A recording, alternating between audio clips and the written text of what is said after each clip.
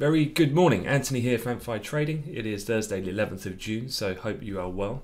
I'm going to first of all say thank you for everyone for joining us for the live FOMC webinar last night. So, for those that did attend, I uh, hope you enjoyed it, hope you found it insightful, uh, and please do check out amplifytrading.com for some more information about us and what we do, what we trade, and, and some of our training programs. Uh, but couple of things I need to get you up to speed on. Uh, and first of all, is the kind of aftermath, always after an FOMC decision, as much as we were analysing it live at the time of its release. The morning after is normally time for people to, you know, sleep on it, uh, digest the information that they've had, and you get a bit more of a feel about people's overall uh, perception of what they think they heard the Fed say yesterday. Uh, and so I can get you up to speed on that a little bit. We can look at the way the markets have reacted. And then actually, there's been some quite meaningful updates on the coronavirus uh, statistics pertaining to the US specifically, where case numbers in a number of key uh, geographic areas with high density populations, which have seen a flare up of potentially second wave kind of uh, conditions. So that's the other major thing we need to have a look at. And on that point, if we start then by just looking at the overall sentiment at the European Open, you can see here the stock index futures in the center, Dow S&P or Dow Nasdaq S&P left to right here. They're all have tracked lower in the overnight Asia Pacific session. So really, even post Powell, it was pretty choppy actually. The the sell-off uh, didn't really materialize until really the commencement of the overnight Asia Pacific session. So yes, uh, Powell, in summary, I'll, I'll, recover in a second, was overall uh, viewed to be dovish, uh, and certainly uh, equity markets were a little bit indecisive of what to do with that. But the yields did fall, gold did rise, uh, and some volatility, but initially was lower in the dollar, would make sense for that. But overnight in the Asia Pacific session, it seems to be more. It's flipped towards then uh, the idea that, that Powell definitely was highlighting considerable risks, and certainly around coronavirus and in coronavirus in itself. As I said, there's a couple of um, indications that potentially we could be seeing quite a distinct pickup in cases in America, which of course would be markets would be particularly sensitive to. So when you're looking at the charts this morning, I mean the Dow future is already down in excess of 400 points. S&P 41, the US 10 years up six and a half ticks gold really quite a punchy move here. I mean, it, it accelerated after the Fed came out uh, on the, the, the, back of the, the dovishness of what Powell was, was saying and the fact that interest rates were going to remain basically at zero through 2022. And we continue to move higher really all the way up into the US session. We've really held that. Gold did see probably the most, I guess, one directional um, and most pronounced move on the back of the Fed comparative to say equities was very choppy. And that that often is the case. Uh, I think if you're ever going to trade an event like that, you know, you've got to kind of pick your battles, and often equities falls into this kind of category of, you know, is bad good, is bad bad in terms of the reaction. Do you take it for what it is, or in terms of a potential policy response? And often the yield gold dollar move is a little bit more uh, clean in that respect, and perhaps more tradable. So yeah, gold's up about 17 and a half bucks this morning. Uh, it's finding a little bit of support in this top right hand corner chart. You can see here around the pivot level. Um, perhaps an area, a bit of support here. You've got that previous high that we had uh, in yesterday US afternoon, just beneath, so the pivot at 38 and that level at 35 here. Um, elsewhere in the currency markets, the dollar is actually strengthened and we're up in a Dixie a decent amount actually. So overnight, what we've had, remember what I've been saying all this week, is the new kind of correlation that's been quite a focal point from a from a risk identification of risk sentiment has been inverse between stocks and the dollar. Uh, and a reflective then of looking at the dollar as a safe haven at, at this point. That's exactly what we've had overnight. Uh, the, the equity index futures have fallen, as you can see here in the case of the center charts. And then if I quickly just bring into to view oh, the um, dollar index, excuse me, my uh, Windows just shutting everything there uh, for a second. Uh, the dollar index you can see here uh, moving higher overnight in basically the inverse relationship. So you can see here, if we're mapping the two on each other, that's kind of a perfect kind of X formation in that in that sense. So let me just quickly reopen some of my panels here. They just shut down there momentarily. Um, so, having a look then at a couple of the news stories. And first of all, then, let's recap exactly what it was that Jerome Powell said yesterday. And we're going to start with generally the headlines. Dovish Fed sees keeping the foot on the gas until jobs come back. So the Fed maintained Treasuries mortgage-backed security buying at at least 120 billion a month. So one of the things that they did do is they put an explicit kind of value on that quantitative easing. Um, the virus continues to pose considerable risks to the economy was one of the main comments that Powell made, and they said they strongly are committed to using tools to do whatever we can for as long as it takes. Um, that not that surprising. It's kind of the reiteration of the usual language. Uh, the actual phrasing of the economy facing quote considerable risks over the medium term is a reiteration of the language that was used at the last FOMC meeting in April. Um, so a lot of what did happen last night, um, you know, they, they, they had some discussions about this um, idea of yield curve control, this idea of capping treasury yields out to a specific maturity. Uh, they told reporters that such, such such discussions will continue going forwards at upcoming meetings, but they didn't yet uh, kind of deploy that as an option. So a lot of it was expected. Uh, I guess if anything, the the commitment to keep rates low was was quite a key thing, and the fact that they see considerable risks remains, despite then perhaps an overextension of what people were thinking, with markets being like they have been earlier this week and the, and the week uh, before, where we've kind of continued to rally on this kind of almost renewed confidence that the virus hasn't yet manifested itself into a significant second wave uh, and things have just been on a bit of a tear. I, and, and that kind of was peaked when non-farm payrolls came out, surprisingly strong. And so perhaps a little bit of reflection then of reality kicking back in that the Fed are in, you know, dovish and supreme accommodative mode at this point in time. So ultra loose monetary policy definitely a positive for gold in that respect. But when we look at these general correlations this morning, this isn't so much a monetary policy reaction this is more of a classical risk off reaction. And so for me, this is more tied to the infection increase we're seeing in America over COVID rather than specifically that of the Federal Reserve to some extent. Um, because here you've got weaker equities and a flight to quality into gold, T notes, and the dollar at the moment. Oil down, yes, inventories yesterday, but also as well, all the more reason to book some at that recent run up we've had on that gap fill up to around 40, 41 in the short term. Uh, as the market kind of reevaluates things, and, and a lot of people in those more medium term longs look to book some in oil. Um, so, back to the headlines. Um, one of the things I just wanted to show you because um, I know we do have people who are more new to markets that perhaps aren't used to looking at this type of information. But one of the main things that we had yesterday was, of course, the, the infamous, what we call the dot plots. Uh, and this is their kind of matrix of where they predict then when interest rates will be at the end of a certain period of time. Not only that, though, we get to have a look at what do the Fed think the the kind of outlook for GDP, unemployment, and inflation looks like. Uh, and you can see the Fed currently see the US economy by the end of the year being in contraction of around 6.5%, but then bouncing back strongly, growing 5% in 2021.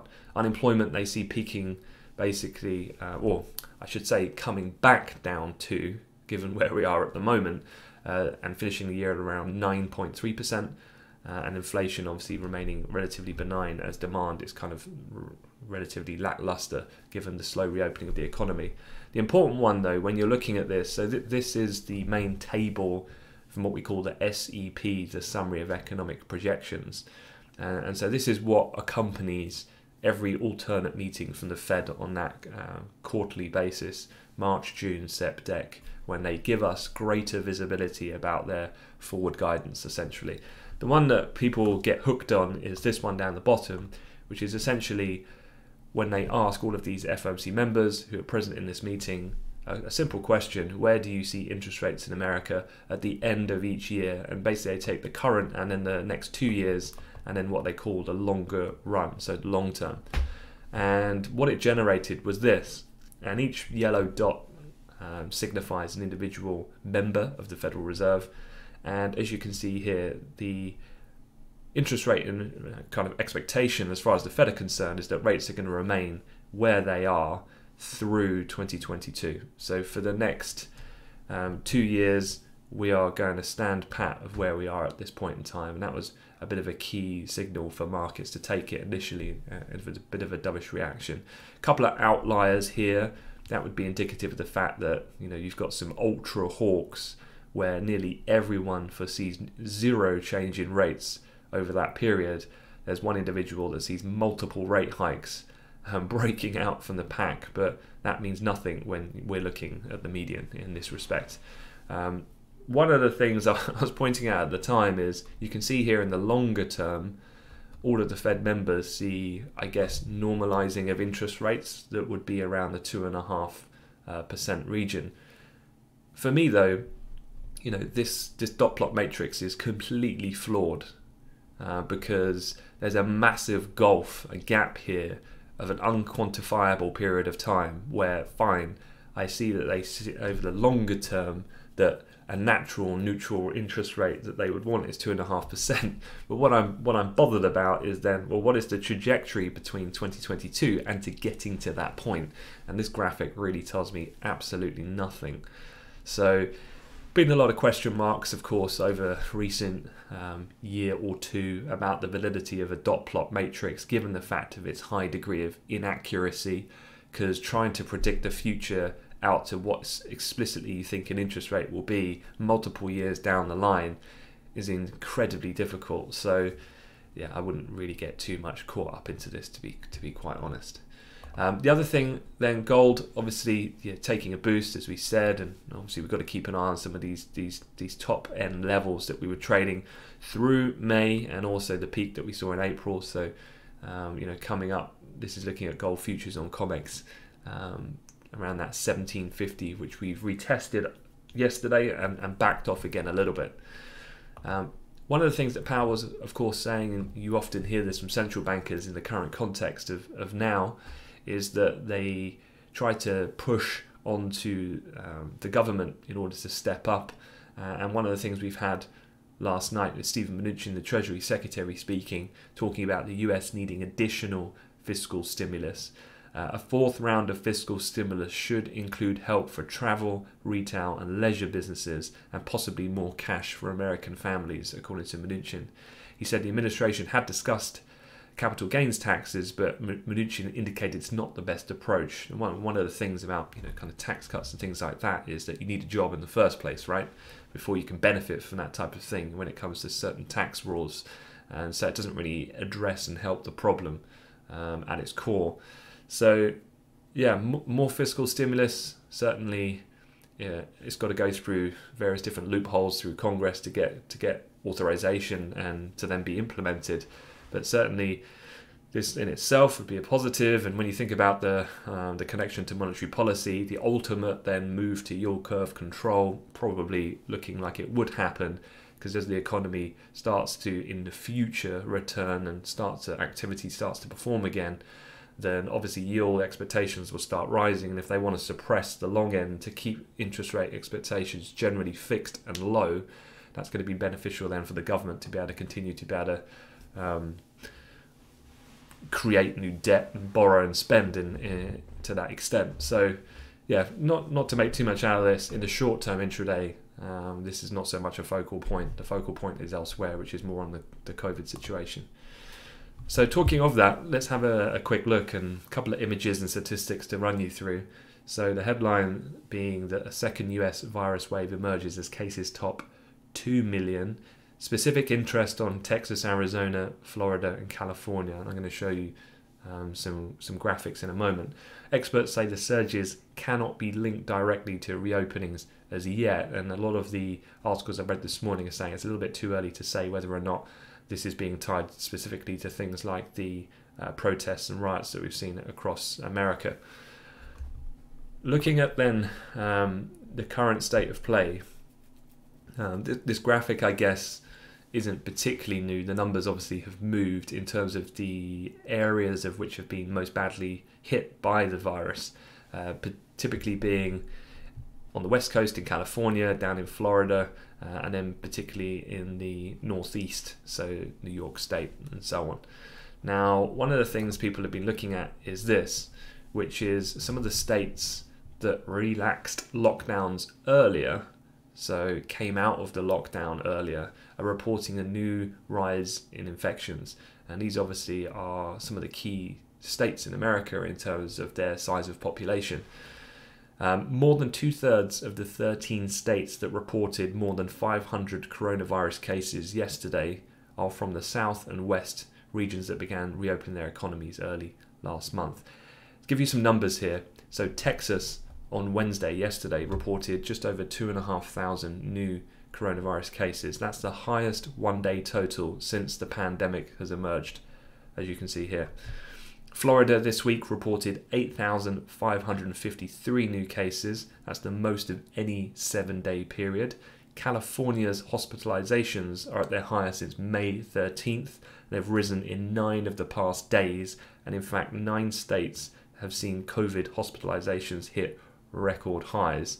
So, you know, this week has been interesting because you know everyone keeps talking about equities and how far can equities go um, even though it's completely disconnected from kind of economic reality or fundamentals. Equities are still bid, people still feel bullish.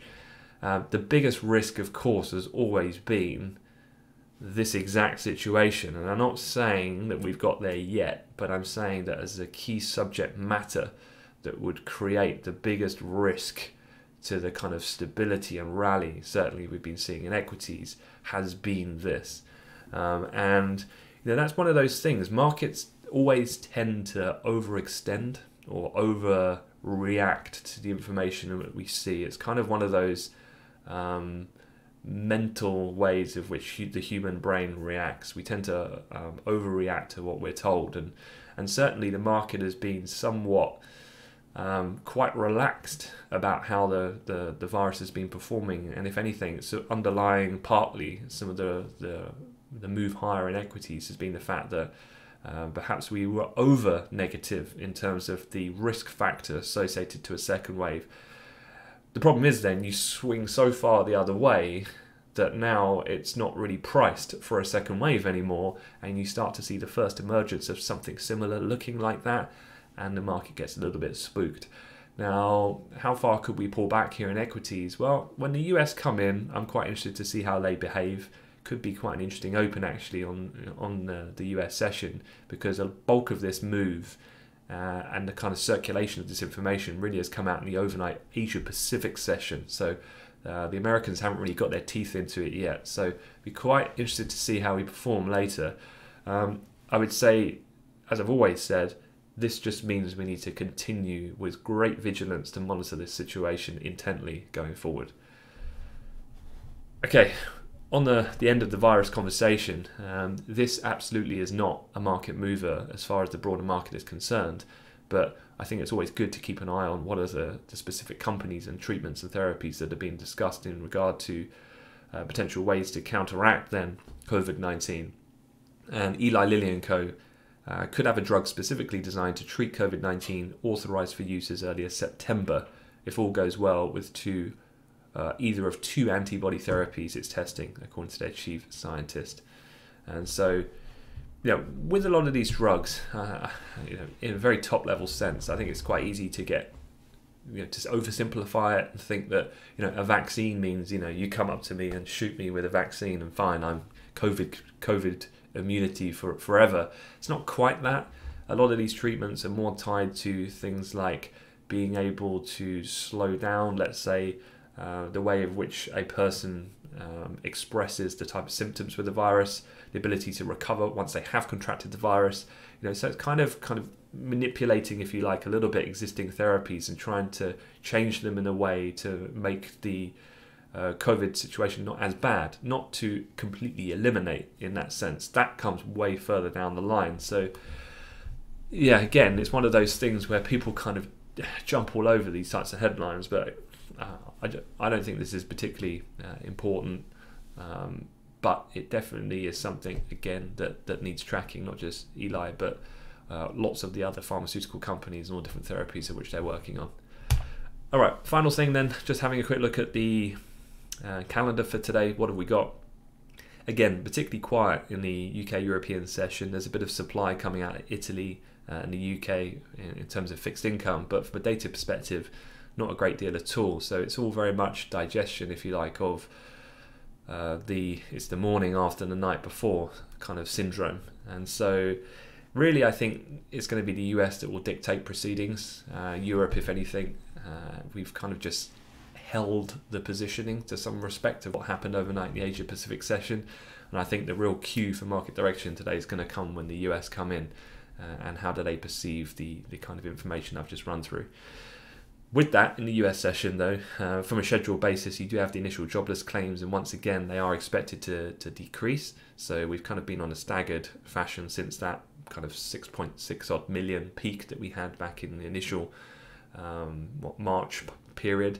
Uh, that's coming down, but still obviously particularly high, which is going to keep unemployment in the in the millions, of course, when it comes to the US. Um, how important is initial jobless claims? Uh, uh, again, I'm, I'm talking specifically from a market's point of view. I don't think it's I don't think it's that important. Um, people are very accustomed to this pattern now, and even though these numbers are historically particularly high, uh, this is all kind of baked into expectations at this point, and people will be focusing on on other things. I think. Um, looking elsewhere, uh, you've got the US PPI numbers, uh, but we've already had CPI, of course, um, yesterday, and it wasn't really too surprising, a touch on the soft side, but nothing to, to breach the outer extremities of the ranges. Uh, and I don't think that slightly weaker inflation in, in the context of what's going on right now with the demand being reduced due to the economic situation, I don't think that's particularly uh, surprising. And then this afternoon we've got Eurogroup video conference. You've got the ECOFIN meeting following up tomorrow. So a couple of, I guess, interesting things potentially to just keep a keep an eye on uh, in terms of an ear on the squawk and an eye on the news feeds. Um, the ability for still the full signing off. It's not yet a complete done deal of the European Recovery Fund, that 750 billion, which we had what two weeks ago agreed. That was quite a groundbreaking compromise at the time, and it came in the same week when the ECB over delivered, of course, added more firepower to their PEPP, their kind of pandemic emergency purchase program, and that's all the Euro rally. So, um, yeah, interested to see where they're at with that. Um, whether or not they're coming against more resistance against the kind of the frugal four who are a little bit less inclined for this kind of debt sharing idea. Um, so if that comes undone, that could be very interesting for the euro from a, from a negative point of view, given how supportive it was for price initially. Uh, and then you've got Brexit, uh, and I mentioned that um, I don't think there's going to be particularly a lot of movement. I did read or saw some headlines this morning about Michel Barnier potentially putting out some flexibility to compromise on some of the red line areas. Um, so yeah, keep an eye out for anything related to Brexit. Uh, I wouldn't expect anything specifically big, groundbreaking in that respect because there's still too much time on the clock, really, for the art of negotiation to really take place a bit later on when the when the deadline looms. But but certainly you might see a few comments. Um, and then the other thing I'd say that maybe you want to be keeping an eye on is um, Donald Trump. You know, Trump has he'll know about these virus figures and you know politically one of the things I was looking at let me just see if I can go back to the FT there was a lot of people um, are talking about this sort of thing. And you know not just picking Boris I'm talking about heads of state and governments overall across the world and particularly Boris and, and Trump. You know Boris is facing a growing backlash over the virus strategy. Uh, essentially what they're saying is there was a previous medical advisor to the government who who had said that if they would have just gone into lockdown one week earlier, well then there would have been half the amount of deaths that there have been. And whether or not that's true is not what I'm trying to say. What I'm trying to say is that politically, obviously, this is quite harming to people's perception of, of the government over this main issue of how they've handled this pandemic. And so, for Trump, could he say something? He, he probably will. So maybe worth just keeping an eye and you know, again, as we've said right from the beginning of the week, the trade war is really being parked on the shelf for the moment. It's gone but not forgotten, and so at the moment, people uh, are still focusing on this. So, yeah, maybe keeping an eye out for that as well would be a prudent thing to do. All right, guys, that is it. So, any questions, feel free to leave a comment on the video. Remember to subscribe to the YouTube channel if you're watching us there. And I wish you a good day ahead. See you tomorrow.